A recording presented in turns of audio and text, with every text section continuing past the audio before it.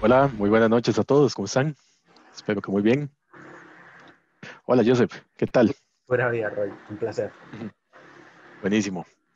Ok, eh, bueno, bienvenidos sean todos. Espero que estén muy bien esta noche. Y hoy yo les vengo a hablar un poquito acerca de Azure, Azure y eh, AWS. ¿ok? Vamos a ver, les comparto por acá. Un segundo. Ok, ahí les comparto. Entonces, bueno, una pequeña introducción. ¿Quién soy yo? Mi nombre es Roy Aguirre. Eh, yo soy ingeniero de escalaciones en lo que es el departamento de soporte de Azure Rapid Response en Microsoft.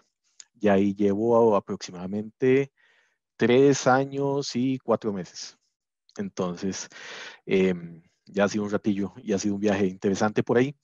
Eh, tengo 18 años de experiencia en lo que es administración de infraestructura y básicamente por eso fue que fui a dar hasta allá.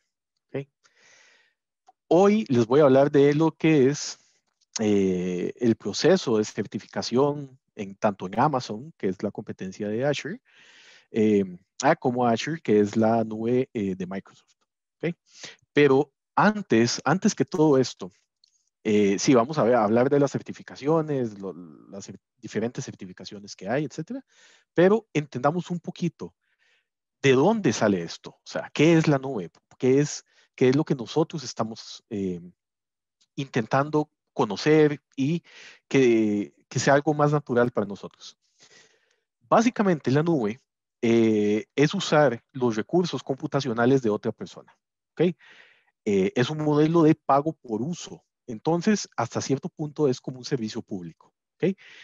Em, es un servicio, nosotros lo contratamos, no tenemos que dar ningún tipo de enganche, no tenemos ningún tipo de compromiso, sencillamente vamos a pagar por lo que nosotros vamos a utilizar de recursos de esta empresa, sea Amazon, sea Microsoft, sea Google, hay muchas.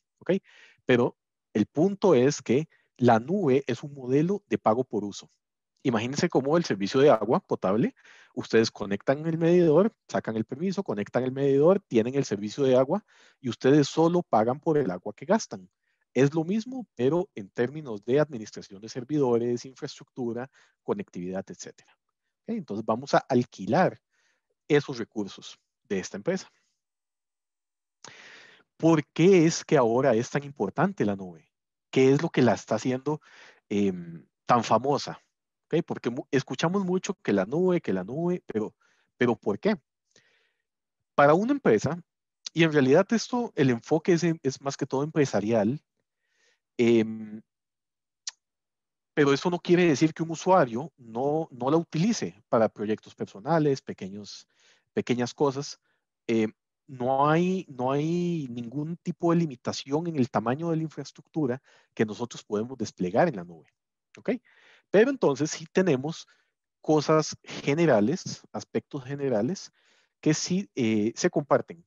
No importa la escala ni el despliegue que se haga de infraestructura. Importante, es un término de estrategia. ¿Por qué? Porque la nube es muy rápida, es cambiante y es oportuna. ¿Qué quiere decir? Cuando nosotros queremos establecer un negocio, queremos hacer algo, imagínense el, problema logístico que es em, que, bueno, necesitamos un servidor, ¿ok? ¿Y qué conectividad tiene ese servidor? ¿Con qué empresas? ¿Con qué telecomunicaciones? La electricidad, eh, si necesita refrigeración, pues la, generalmente los equipos ya un poquito más grandes, un poquito más empresariales, eh, necesitan estar con temperatura regulada, necesitan tener unas condiciones aptas de funcionamiento. Entonces, para, dar, ese arranque, para empezar con lo que es la infraestructura eh, desde el punto de vista de sistemas, es, algo un poco complicado, es algo tedioso, es, es, eh, pesado, es, algo pesado.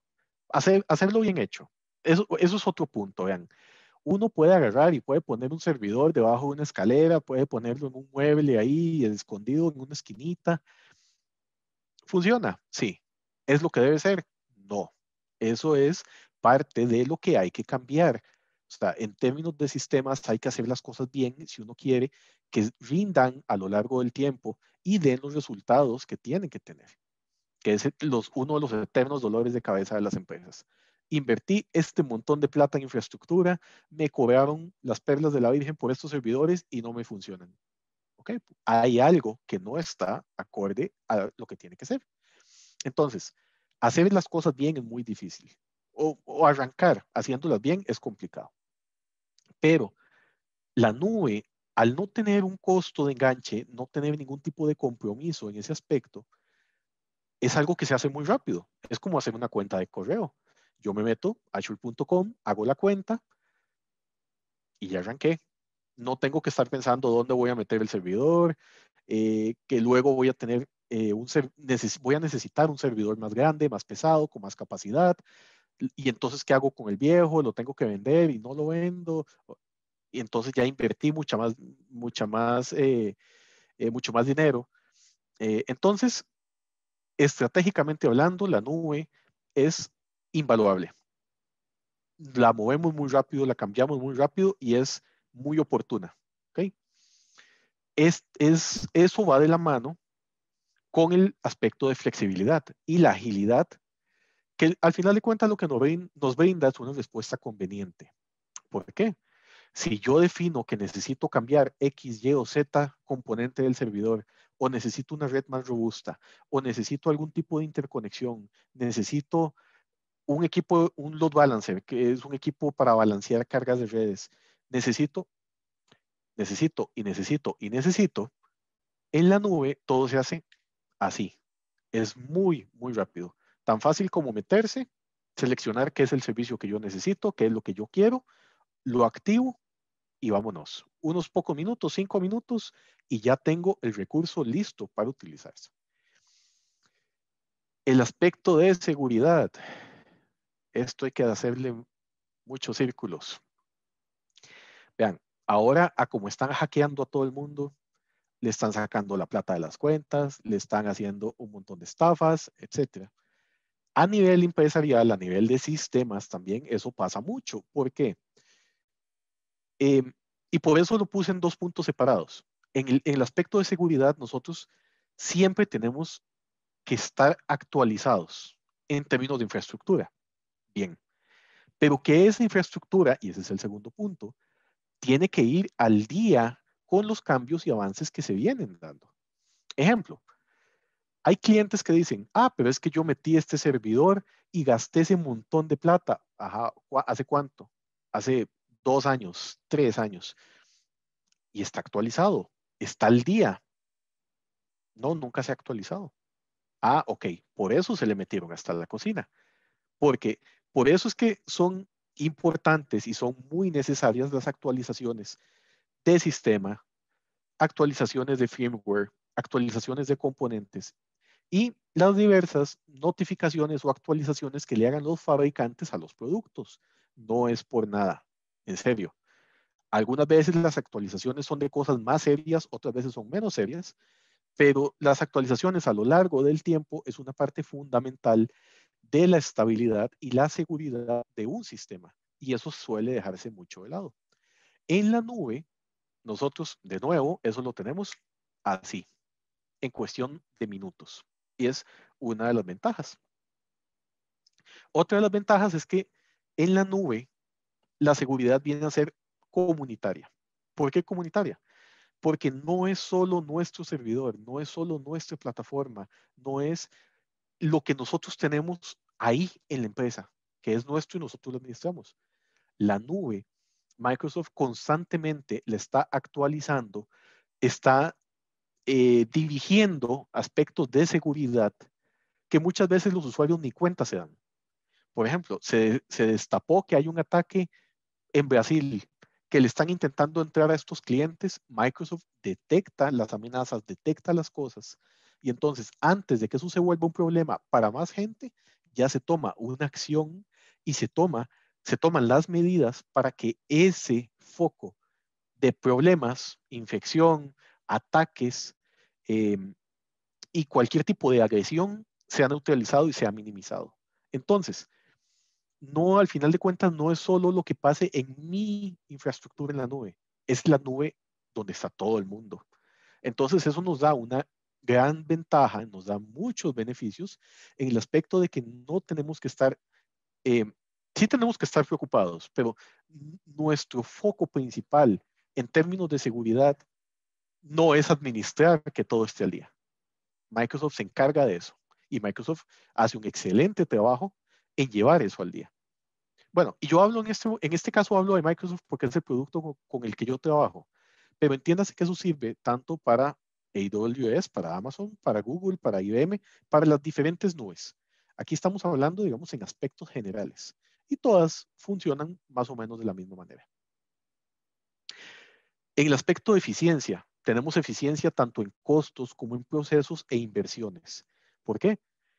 Es pago por uso. Si yo necesito servidores que me muevan el tráfico de 150 mil usuarios por minuto, lo puedo hacer. Y si a los dos días necesito que el tráfico sea para 10 usuarios, sencillamente le bajo la barrita, ajusto el desempeño que yo tengo y listo.